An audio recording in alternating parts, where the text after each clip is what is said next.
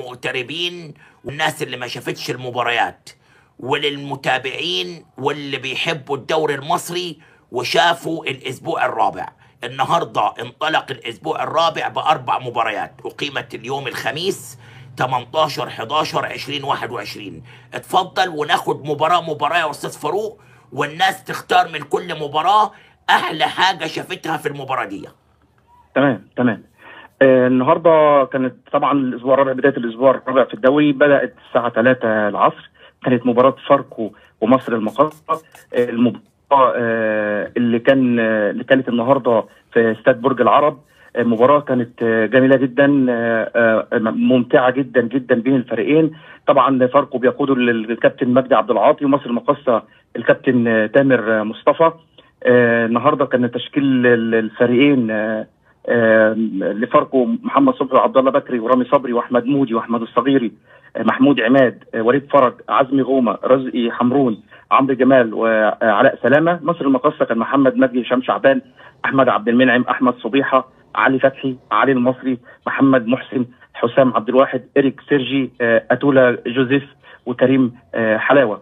حكام النهارده يا أستاذ عبد الناصر كان حكم الساحة هشام الفلال حكم مساعد رمضان الهنداوي وممدوح مصطفى حكم رابع صبري إبراهيم حكم فيديو محمد سلامة وحكم مساعد فيديو أو فار آه عاطف آه حسين.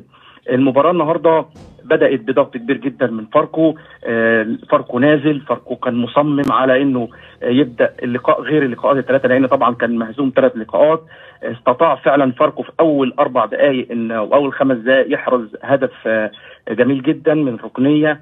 عمرو جمال قابلها برأسه جميلة جدا في العارضة بترتد من العارضة لوليد فرج بيلعبها بدماغه جوه من جوه ال 18 تاني عرضية داخل الستة ياردة بيقابلها عبد الله بكري المدافع في الشباك الخالية يسجل الهدف الأول والمبكر لفاركو. بعدها مصر المقاصة حاول يضغط عشان يدرك التعادل. وفي الدقيقة 31 حصل اعتراض من لاعيبة مصر المقاصه على ركلة جزاء بدأ لمسه اليد لرامي صبري جوه ال 18 ولكن الحكم ما رجعش للفار وفعلا الإعادة بينت إن الكرة في صدر رامي صبري مش في إيده. الحكم طبعا في الدقيقة 41 والمباراة انقلبت الحكم رجع في فاول من في وسط الملعب لعيب فاركو ضرب لعيب مصر المقاصه بالكوع الحكم حسبها فاول عادي حكم الفار استدعاه شاف اللقطة فعلا اللقطة كانت تستحق طرد واللاعب محمود عماد لاعب فاركو ينال الكارت الأحمر في الدقيقة 42 انتهت انتهى الشوط الأول بهدف فاركو 1-0 وطرد من طرد اللاعب محمود عماد. مع بداية الشوط الثاني فاركو بدأ يرجع zone defence ويلعب على الهجمات المرتدة وكان مقفل دفاعاته بشكل رائع جدا وبأداء متجانس جدا. ويمكن كان نجم الشوط الثاني عمرو جمال وأنا بختاره هو نجم المباراة.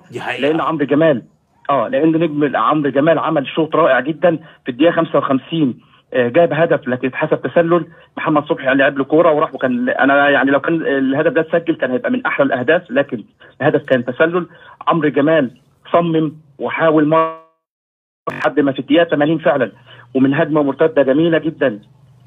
استقبل عرضية جوه ال 18 آه من توغل عزمي غوم لاعب فاركو لعبها له لعبها بيمينه روعة على على شمال حارس مصر المقاصه ليحرز الهدف الثاني وهدف هو أنهى المباراة تقريبا لأن كان في آخر 10 دقائق ولكن هنا آه طبعا أنا عايز أحيي كابتن مجدي عبد العاطي اللي قدر يصمد تقريبا 55 أو 60 دقيقة في المباراة ب 10 لاعبين وهو 1-0 لا تمام. وكمان بيعزز بهدف ثاني وعمل شغل وأداء رائع جدا و... و... ومباراة يستحق فعلا الثلاث نقاط عليها. كابتن مجدي عبد العاطي بعد المباراة قال إحنا اجتهدنا في الثلاث مباريات اللي فاتوا لكن ما فيش حظ. إحنا النهارده اتعلمنا من الماتشات اللي فاتت. كان في تذبذب حالة الطرد هي اللي أثرت علينا. ولكن اللي أنا بهدي للفوز ده للعيبة وعلى الصبر.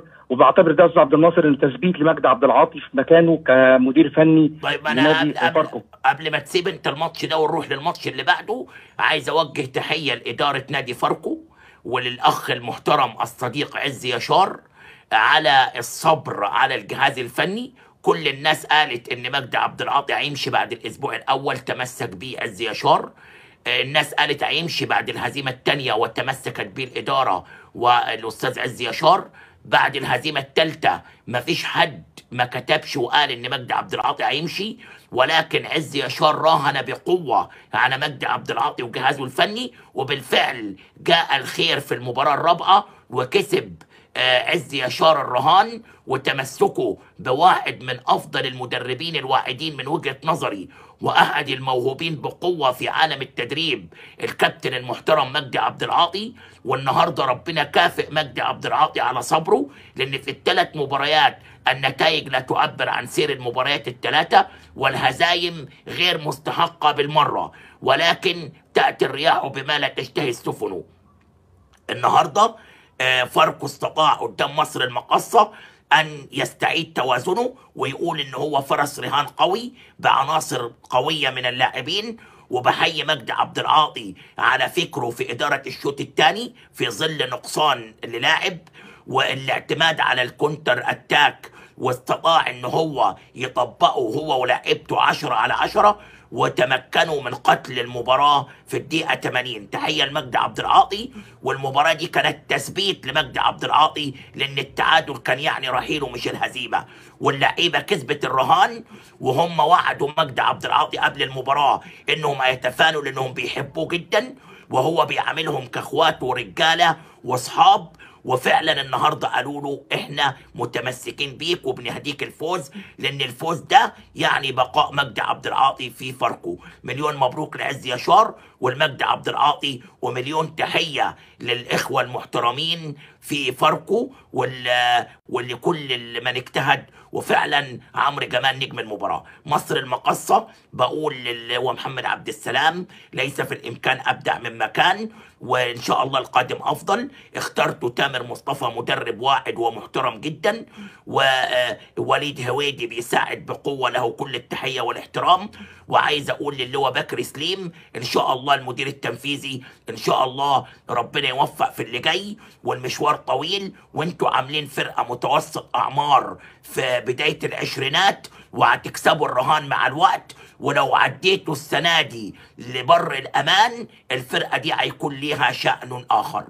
نروح مباشرة للمباراة الثانية يا أستاذ آه، فاروق وسريعا بدون تفاصيل كتيرة. خلينا نقول لايكات يا جماعة وإحنا بنتكلم في الدوري لغاية ما نكمل ال 2000 لايك وال 3000 متابع. لو سمحتوا. لايكات على قد ما نقدر. إلى المباراة الثانية. المباراة الثانية كانت آه، آه، ايسترن كومباني على ملعبه آه، آه، أمام فيوتشر آه، والفوز الكبير لنادي فيوتشر 4-1 طبعا ايسترن كومباني ده أول مباراة للكابتن علاء عبد العال ودي المباراة الرابعة للكابتن علي ماهر. المباراة كانت رائعة جدا النهارده يا أستاذ عبد الناصر. أو الأول هنقول التحكيم كان محمد الحنفي كان هو الحكم النهارده حكم المباراة حكم الساحة. المباراة كانت آه، في مجملها آه، يعني تقريبا شبه سيطرة كاملة لفيوتشر على المباراة. فيوتشر من البداية ضغط. فيوتشر في الدقيقة 6 أحرز أول هدف. بس قول يا فاروق هو ربنا فك عقدة مروان محسن وبقي مكنة أهداف من أول ما ساب الأهلي. إيه الموضوع؟ والله يا أستاذ عبد الناصر تقريبا كده هو مروان يعني مش عارف. هي الدنيا فتحت فتحت معاه وبقى بيسجل. لا والنهاردة لعب كويس جدا ولعب المباراة 90 دقيقة من وشغال نجوم ده من آه، نجوم المباراة وعامل اسيستات وجايب هدف والماتش اللي فات جايب هدف والبلية لعبة معاه مع الكابتن علي ماهر على الآخر. هو تقريبا التيشيرت بتاع النادي الأهلي كان تقيل عليه شوية فاللي حاسس إن التيشيرت ده خفيف فقادر يجري بسرعة ويلعب برشاقة برافو عليهم. وبمرونه إحنا في النادي الأهلي خالص يعني. أمنية حسين بتتفق معاك بتقول لك مشكلة مروان في الأهلي كان الضغط الجماهيري وكان عايز يدي كل حاجة وعلشان كده اجتهد مروان من اللعيبة المحترمة وليه مني كل التقدير والاحترام وخلي بالك فعلا الضغط الجماهيري هو اللي عمل كده في مروان ولو هو كان بيلعب بارتياحية مروان لاعب كبير وده ظهر في فيوتشر والنهاردة جايب هدف ولاعب ال 90 دقيقة ومتألق وبصراحة يا جماعة في لعيبة بتيجي على كمية مدربين. يعني النهارده مش عايز أقول لكم علي ماهر مع فيوتشر بيعيد اكتشاف مجموعة كبيرة من اللاعبين. بالظبط ده أنا كنت لسه هقوله فعلا. بالظبط كلام حضرتك مظبوط 100% النهارده بعد في أول ست دقائق كرة عرضية عبد الناصر خرجت بره ال 18 من ناحية اليمين. عمر كمال قابلها برجله اليمين في الزاوية البعيدة في المقص. الحارس بس وقف يتفرج عليها. إحنا كلنا يعني أنا بتفرج على المباراة ما توقعتش إنها رايحة آه، في المرمى. هدف صاروخ هدف عالمي جميل جدا من عمر كمال عبد الواحد آه، سجل الهدف الأول في الدقيقة 6 علي ماهر كان واقف على الخط. قال للاعيبه اضغطوا. العبوا كمان. اللعيبة فعلا في الدقيقة 15 أحمد رفعت استلم كرة من ناحية الشمال. ومر بيها ب... ب... يعني بصورة أكتر من رائعة. لعبها الجوناثان جوه ال 18 اللي رجعها على خط ال 18 لمح... لغنام محمد يسدد صاروخ. ارض أرض في ال- في المقص الأرضي للحارس على يمينه. برضه الحارس وقف يتفرج عليها. الهدف الثاني بعديها على طول علي ماهر برضه صمم اللعيبة وقال لهم نضغط خلي. بالك في, في, خمس- في اللقطة دي عايز أقول حاجة. أنا شفت علي ماهر واللعيبة بتحضنه وبتبوسه. آه وفي لقطه الهدف الرابع الملغي اللي قبل. الهدف الرابع الشرعي شفت لقطة بمليون جنيه الكابتن محمد عبد الكريم المدرب العام لفيوتشر علي ماهر بيضحك من ال counter att... من ال... من التيكا تاكا اللي اتعملت يعني جايبين الكرة counter attack هجمة مرتدة زي الكتاب ما بيقول من رجل بالظبط. الرجل لغاية ما دخلت الشبكة الهدف ده أنا زعلت عليه جدا إنه طلع تسلل اللي هو جابه المحترف التونسي آه الصفاقسي آه، ال- ال- الصفاقسي آه،. آه، يا جماعة الهدف ده لازم يتدرس وكان الكابتن علي ماهر فرحان جدا تيكا تاكا زي الكتاب ما بيقول بجد. شفت لقطة للكابتن محمد عبد الكريم وهو بيقول لهم اضغطوا اضغطوا. أيوة، الخامس بالظبط. والسادس تدل على إن فعلا الجهاز الفني لفيوتشر في حتة تانية خالص. وبالفعل ضغطوا وجابوا الرابع الشرعي وكانت ال- ال- المباراة رائعة. ويا جماعة علي ماهر ومحمد عبد الكريم والجهاز الفني مش أعادوا اكتشاف. أعادوا الحياة لأحمد رفعت. أحمد رفعت قبل علي ماهر من أيام المصري. كان شبه بطل كورة أنا آسف لأحمد يعني. إيه اللي عمله علي ماهر معاه إعجاز. عمل له ظبط زوايا وظبط صواميل و... وشحم له الركب وظبط له الرجلين. مش معقول. يعني يعني جد وبرافو أحمد رفعت على إنه تحدى نفسه. وسمع كلام مدربه وأنا بتفرج كان استمتع بأحمد رفعت رائع رائع رائع لأبعد الحدود الهدف. الثاني اتفضل آه الهدف الثاني الثالث آه برضه جوناثان اللاعب اللي راح الجونة مكسب كبير جدا لفيوتشر طبعا. يعني تقريبا بعد خط النص كورة لفة من بتوع علي معلول بس لعبها أرضية زاحفه من بعيد. لفة sweep من ناحية الشمال. تعدي المدافعين وتروح لمروان محسن اللي ببطن رجله قطع الشبكة زي ما بيقولوا. جون جميل جدا جدا وهدف ملعوب. وهدف صفر. رائع جدا لمروان محسن في الدقيقة 21 آه في تلت ساعه بعديها- 3 0 يا جماعة. اتفضل. آه الشوط الأولاني في أول ثلث ساعة في الدقيقة 21 كان 3-0 لفيوتشر وانتهى بعديها على الشوط الأول 3 0 بالظبط. انتهى الشوط الأول 3-0 بعديها على طول في الدقيقة آه، في الشوط الثاني وفي الدقيقة 58 كرة جوه جوه منطقة الجزاء لأحمد رفعت. اللي لعبها اللي حضرتك قلت عليها التيكي تاكا الهدف ده أنا زعل- زعلت عليه جدا جدا جدا. أيوة، أيوة. اللي اتلغى آه والله بجد أنا زعلت و... جدا لأن هدف و- والهدف. ده والهدف ده في ضحكة لعلي ماهر ستظل تاريخية. شفت أنت اللي كان منسجم ومتكيف كأنه كل خروف ضاني وتمتع بيه علي. ماهر ضحك ضحكة إعجاب بالتيكي تاكا بتاعت الهدف ده تساوي مليار جنيه ولكن الهدف. اتلغى آه، الهدف بقى هدف إيسترن كامباني اللي كان قربهم شوية من المباراة في الدقيقة 80 غلطة من جنش شاط الكوره بره ال 18 راحت راحت للاعب محمد حسن هات وخد مع صلاح عاشور خد مكان كويس جوه ال 18 بانفراد ولعبها بشماله آه، على شمال جنش الهدف الأول لإيسترن كامباني ايسترن كامباني في الوقت ده في آخر ربع ساعة ضغط بضغط شديد جدا وفيوتشر لعب على المرتدات في الدقيقة 94 أيمن الصفاقسي يروح انفراد بحارس المرمى بيشوط الكورة تخبط فيه وترجع له تاني. ولكن عشان ربنا حب يكافئ أحمد رفعت لأن أنا شايفه النهارده أحسن لعيب في الأربع مباريات النهارده المباراة. بالظبط. ربنا حب يكافئه. أيمن الصفاقسي لعبها بالعرض لأحمد رفعت يسجل الهدف في الدقيقه 94 عشان ربنا يكافئه لأنه فعلا نجم فوق العادة. علي ماهر غير فيه تماما. أنا مش هتكلم أكثر من حضرتك قلته لأن أنا فعلا كنت محضر كلام لأحمد رفعت. ولكن بعد الفوز ده فيوتشر رفع رصيده لسبع آه، آه، نقاط في المركز الرابع آه، بعد فرق الأهداف عن فريق غزل المحلة. أنا عايز أقول بس آخر حاجة إن إيسترن كامباني بعد الهزيمة دي يعد ثالث أسوأ أسوأ بداية الفريق خلال 25 سنة. دخل فيه لحد دلوقتي في ثلاث في أربع مباريات 11 هدف وسجل فقط ثلاث أهداف.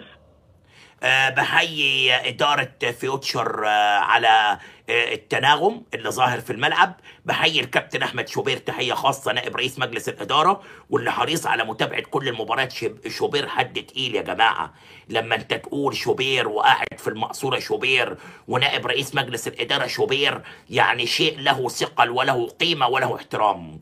مع كامل الاحترام لكل العاملين في فيوتشر تحية لأحمد شوبير ومجلس الإدارة بالكامل لأن فعلا عاملين عظمة وعاملين حاجة رائعة. وتحية ل- للمحترم النجم الكبير الكابتن علي ماهر ولكل جهازه الفني اللي أنا مش عايز أقول أسامي لأن علي ماهر واحد في كل والكل بيعشق علي ماهر.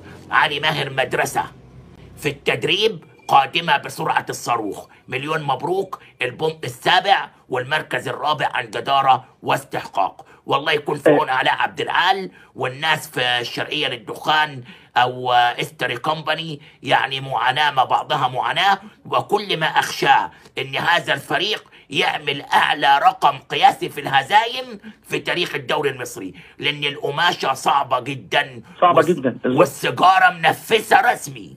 السيجارة منفسة رسمي. والله يكون في عون الناس مع كامل احترامي بحبهم جدا ولكن يا جماعة الدخان كله ظاهر على اللعيبة والناس ما قدرتش تجري.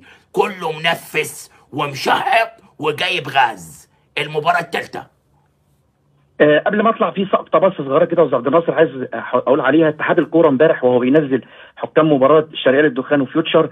سقطة كبيرة جدا كاتبين الشرقيه للدخان مش اسم كومباني وكاتبين كوكاكولا club مش كاتب وشعار آه، كوكاكولا مش فيوتشر ولا شعار فيوتشر دي, دي كارثة دي طبعا سقطة. دي كارثة على الموقع الرسمي منزلين بدل فيوتشر اسم كوكاكولا اللي هو الاسم القديم قبل ما النادي كوكاكولا يتباع ويبقى اسمه فيوتشر باللوجو ومنزل- بتاعه. آه باللوجو بتاع كوكاكولا القديم طبعا في فيوتشر وفي لوجو جديد وأتمنى من الكابتن أحمد شوبير أن يحقق في هذا الأمر وأن يخاطب اتحاد الكورة والموقع الرسمي عيب وقله أدب من الآخر يعني بالظبط. الشرقيه بالظبط. للدخان عيب تحط اسم دخان. ده أنا بتكلم تريقة. يعني عاملين مصيبتين. منزلين كوكولا بشعار كوكولا هتلاعب الشرقيه للدخان بشعار الشرقية للدخان. وكوكولا لا هي كوكولا ولا الشرقية للدخان هي الشرقية للدخان. اللي. بيلعب المسمى الجديد فيوتشر اللي بيجي بدل كوكولا بلوجو جديد مش موجود. والشرقية للدخان اسمها إيسترن كومباني بلوجو مش موجود. يعني ناس في الغيبوبة وفي الخيال. بشكرك على التأكيد على هذه السقطة. وعيب جدا الموقع الرسمي يعمل كده. وأنا بهدي هذه الواقعة للأستاذ أسامة إسماعيل المشرف على المركز الإعلامي والموقع في الاتحاد المصري لكرة القدم لأن الأستاذ أسامة إسماعيل اسم كبير ومحترم وأكيد لن يترك ذلك دون تحقيق. اللي بعده. بالظبط المباراة اللي بعديها كانت سيراميكا كليوباترا والبنك الأهلي يا سلام يا سلام على ده, ده ماتش يا جماعة.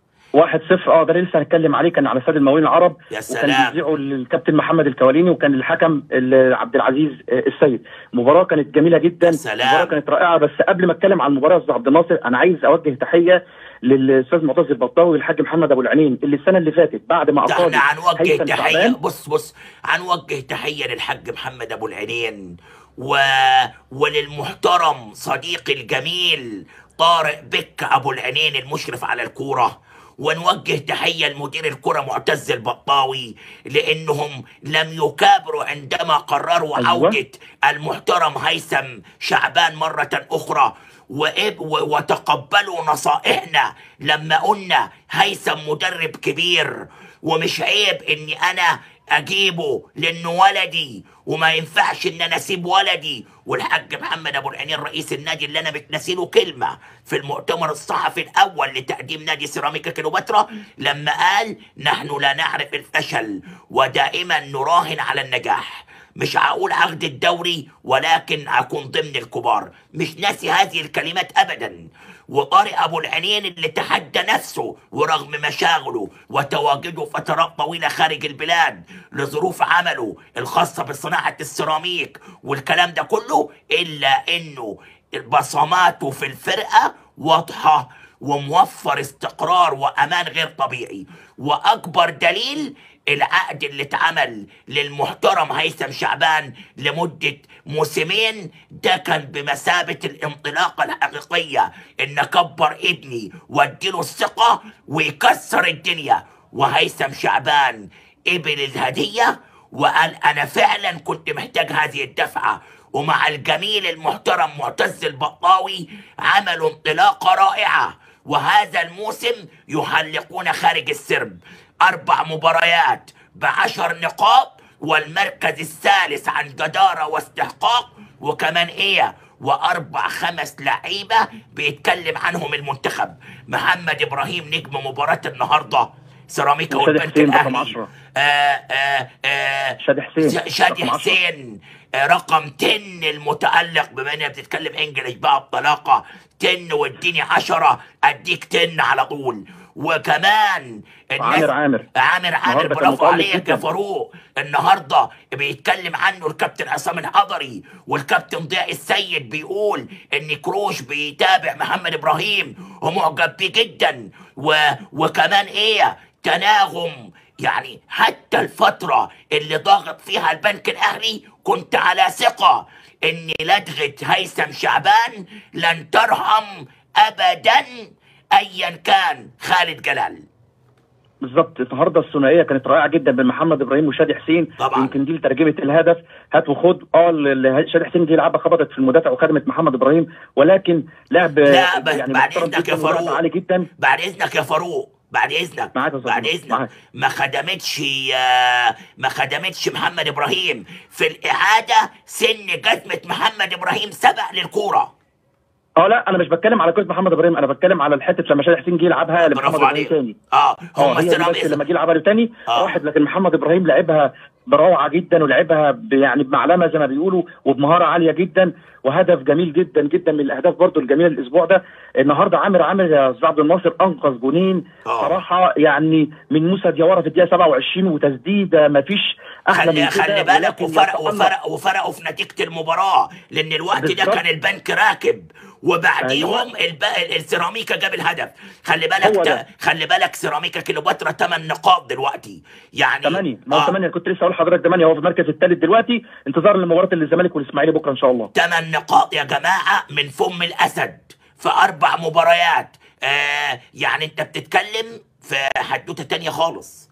يعني ف... يعني أنت بتتكلم في فوزين بستة وتعادلين. والثالث آه في الأسبوع الرابع وطموح كبير يا هيثم يا شعبان. وأنا كل ثقة فيك ودايما بتكلم عنك وثقتي فيك ليس لها حدود. أنا بطبيعتي بحب فرقة سيراميكا جدا وبتكلم عنها من قلبي لأني أنا بستمتع. مفيش ماتش بيفوتني يا جماعة. مفيش ماتش بيفوتني.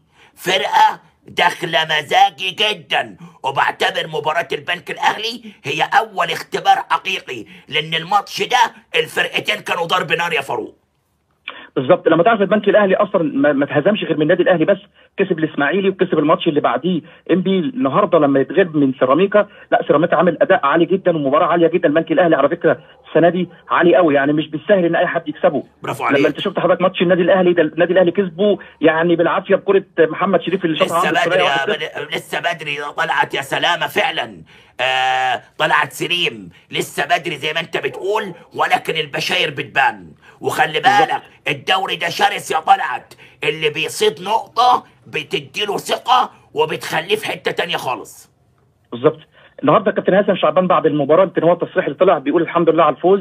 أهم حق بهدي الثلاث نقاط دول ودي لفتة ممتازة منه يعني لفتة محترمة منه لمدرب حراس المرمى بنهدي له الثلاث آه، النقاط دول اللي هو مدرب الحراس الكابتن مصطفى عفيفي لأنه مصاب بفيروس كورونا وما حضرش معانا النهارده. فانا لفتة بهدي له رائعة. الفوز والثلاث نقاط. ألف سلامة يا كابتن مصطفى وربنا يرجعك بالسلامة لأهلك ولأسرتك يا حبيبي وإن شاء الله ترجع لنا زي الفل و... وتكون نعمة المدرب لعامر عامر وترجع لأولادك ولناديك زي الفل إن شاء الله. إن شاء الله. وأنا المباراة كانت صعبة وإحنا كنا ند قوي. بشكر اللعيبة على الأداء الرجولي والروح العالية قدام فريق فريق مش سهل زي البنك الأهلي. والحمد لله إحنا وصلنا للنقطه سهل. 8 وماشيين في الطريق السليم. آه، مليون مبروك للحاج محمد أبو العينين وطارق أبو العينين والجهاز الفني بقيادة هيثم شعبان والجهاز الإداري بقيادة معتز البطاوي وإنهم فريق منصهر في واحد وعندهم إنكار ذات غير طبيعي ولا يعرفون إلا النجاح. تعظيم سلام لسيراميكا. ودايما متعونا وأنا بنام فرحان وأنتوا فايزين. أرجوكم حافظوا على فرحتي. في كل يوم بتلعبوا تذكروا إن أنا عايز أفرح. أرجوكم. thank you very much سيراميكا كيلو آه المباراة اللي بعديها مباراة الاتحاد والجونة ويمكن دي أنا عايز بس على- بالحكم آه. الحكم الحكم النهارده نادر أمر الدولة الحكم ده رائع جدا خلي بقى خلي بالك قبل. ما قبل ما نسيب مباراة سيراميكا نسيت تقول لي تمام. مين الحكم؟ آه الحكم كان مباراة سيراميكا آه، كيلوباترا آه، الحكم عبد العزيز السيد أنا قلته في الأول. عبد العزيز عبد العزيز السيد تمام تمام. آه.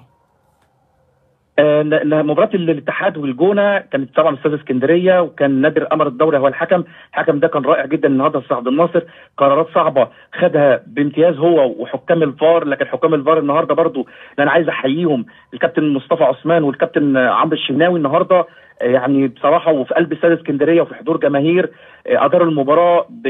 ب... يعني بصورة رائعة جدا. المباراة كانت خشنة شوية فيها عنف في الأول. التكتيك كان غالب عليها في الشوط الأولاني.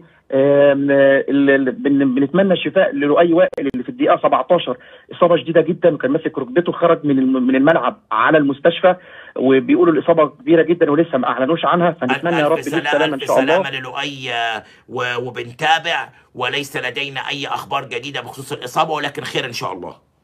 بالظبط. الشوط الأولاني كله هو مجمله ما كانش كان تكتيك أكتر من إنه فني وكرة واحدة بس بتاعت آه، معاذ الحناوي خبطت في العارضة ورجعت لإسلام طارق. لكن الشوط الثاني كان الشوط كان مختلف تماما. الاتحاد ضغط من بداية المباراة آه، لعب من آه، بداية الشوط الثاني ضاغط بصورة قوية جدا عشان يجيب الهدف كان هو الأخطر. وطبعا الهدف بتاع الاتحاد ال- ال- الهدف الفوركي الهدف العالمي اللي أنا شايفه أحسن هدف في الدوري حتى الآن رفعه من ناحية اليمين بيقابلها خالد الغندور مقصية في الزاوية البعيدة صاروخ لا يصد ولا يرد. بيفكرنا بهدف كابتن حسام حسن جابه في في بداية الألفينات مع الزمالك وجابه قبل كده مع منتخب مصر في السعودية.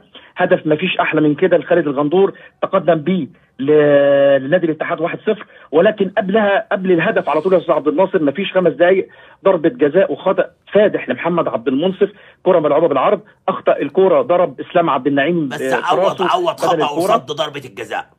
بالظبط. عوض الخطأ قصاد ضربة الجزاء بروعة اللي سددها نور السيد. أنا شايفها أن كانت ضعيفة صدها وأنقذ الاتحاد من هدف تقدم. بعديها الاتحاد ضغط بصورة كبيرة جدا وبصوره قوية جدا لحد يعني لغاية ما أحرز الهدف العالمي اللي أنا شايف إن ده أفضل هدف في الدوري إلى الآن. هدف من الأهداف اللي ما بنشوفهاش غير في الدوريات هدف الأوروبية. هدف عالمي. وشفنا لقطة التحدي للكابتن إبراهيم حسن بعد الهدف وهو بيعمل كده. لقطة التحدي يعني إحنا قادرين يا رجالة. والنهاردة ماتش جامد جدا والجونة كان عالي جدا وعندهم كرة في العارضة ملهاش حل.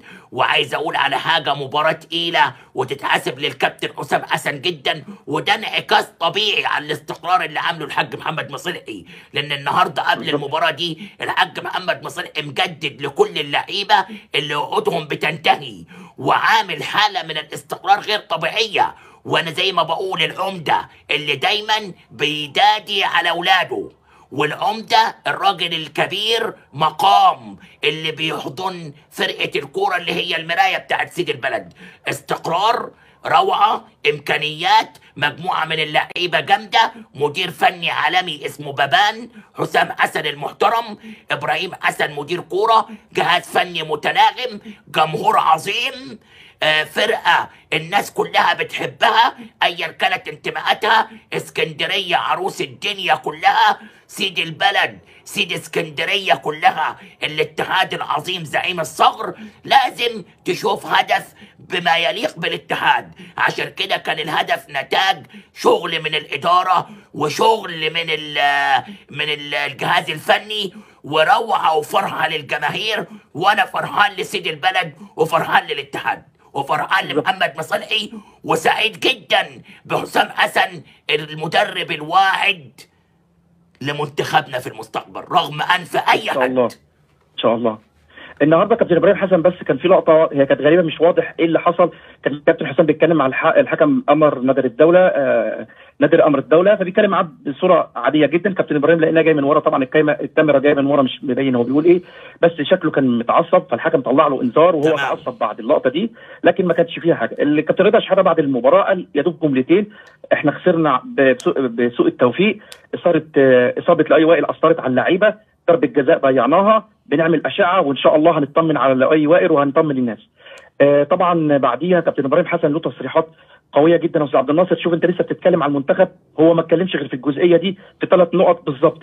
قال آه صعب إن إحنا بيقول الأول الأداء مع كروش هو فين الأداء؟ إحنا ما كنا سيبنا حسام البدري يكمل. كروش قعد مع مانويل جوزيه وفنجادا وقالوا له اذبح لهم القطة بدري بدري وهو جاي بيعمل الكلام ده معانا وبيعامل الناس بطريقة مش كويسة. آه، وبعدين رمى لغز بس أنا عرفت هو مين وأشوف حضرتك توافقني ولا لأ بيقول لاعب كنا مربينه على حجرنا كان مسؤول في اتحاد الكورة وقف قصادنا عشان ما نمسكش منتخب مصر وإحنا اللي لعبناه في المصري ولعب بعد كده في الإسماعيلي وبعد كده رجعناه رجع الأهلي. محمد طبعا فضل. أنا بالظبط كده. أنا قلت هو ما فيش غيره أصلا يعني. محمد فضل هو وقف في طريقهم بقوة و... وفي المرة الثانية هنا بريدة تحدى وجودهم بقوة. في المرة الأولى جه حسام البدري بعد ما فضل حارب بقوة حتى لا يأتي حسام حسن لدرجة أنه فضل كان متبني إيهاب جلال دي كانت كارثة من الكوارث. وك... وبعد كده في المرة الثانية اللي جه فيها كروش هنا بريدة كان حالف طلاق بالثلاثة حسام ما يدخلش الاتحاد ولكن هيدخل غصب عنهم إن شاء الله بإذن الله تعالى شاء الله. رغم أنف هؤلاء. بشكرك يا أستاذ فاروق شكرا جزيلا. ولو سمحت على تواصل معاك نعرف إصابة لؤي آه عادل آه وتواصل مع الناس في الجونة وعندما تصل إليك معلومات عشان نطمن الناس. طب ممكن بس أقول لحضرتك حكام مباريات بكرة آه ومواعيدها اتفضل اتفضل. وال... والمعلقين. بكرة النها- الساعة 3 النهارده النهارده الجمعة النهاردة. بقى. النهارده آه، الجمعة بقى يا. جماعة عندنا خمس مباريات. النهارده الجمعة عندنا خمس مباريات. اتفضل يا أستاذ فاروق. النهارده إن شاء الله بإذن الله على استاد جهاز الرياضة العسكري مباراة طلائع الجيش وغزل المع... المحلة والحكم محمود عاشور.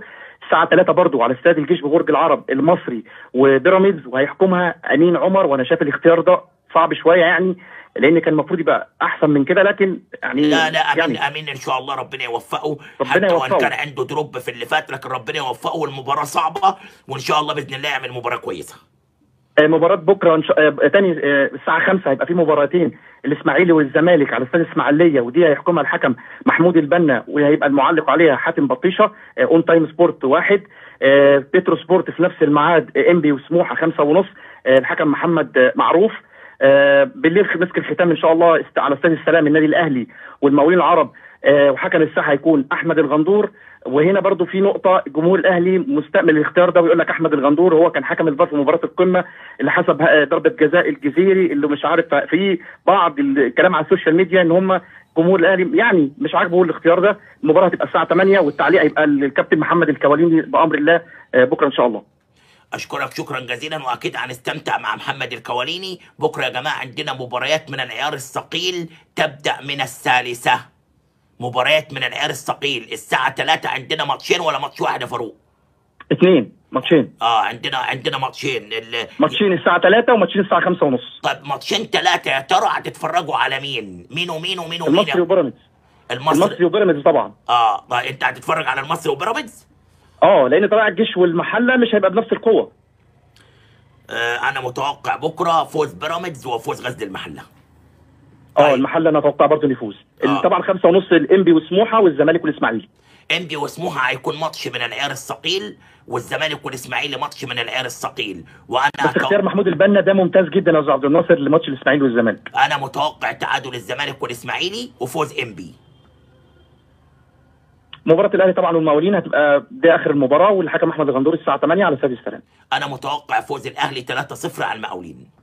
إن شاء الله بإذن الله. شكرا على هذه الإطلالة في الدوري المصري. اللي أعتقد أنها هتعجب المغتربين جدا وخدمة هنقدمها مع كل المباريات. شكرا يا الله. فاروق وشكرا لكم في غرفة الإعداد. شكرا جزيلا على هذا التقرير الوافي. شكرا جزيلا. ويا ريت في ال social media نقطع كل مباراة وحديها ومباريات الجمعة تتقطع وحديها لمزيد من الخدمة للمغتربين. وللي عايز آه، يعرف كل حاجة أول بأول معانا. والمصريين تحياتي طبعا. لحضرتك يا أستاذ عبد الناصر ولكل السادة المشاهدين وتحت أمر حضرتك في أي سؤال تاني أو أي استفسار إن شاء الله. شكرا جزيلا ومعاك في السهرة لو في أي جديد لو سمحت.